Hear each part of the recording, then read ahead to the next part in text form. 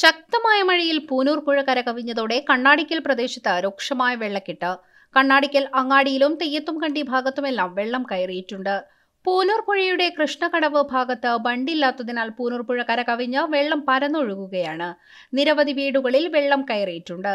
പലരെയും ബന്ധുവീടുകളിലേക്ക് മാറ്റി പാർപ്പിച്ചു വേങ്ങേരി മേഖലയിലും രൂക്ഷമായ വെള്ളക്കെട്ടാണ്. കൊയമ്പാലിൽ എടാമണ്ണിൽ ഗ്രീൻ വേൾഡ് കാഞ്ഞിരവയൽ വടക്കേ വയൽ മേഖലകളിലും വെള്ളം കയറിയിട്ടുണ്ട്.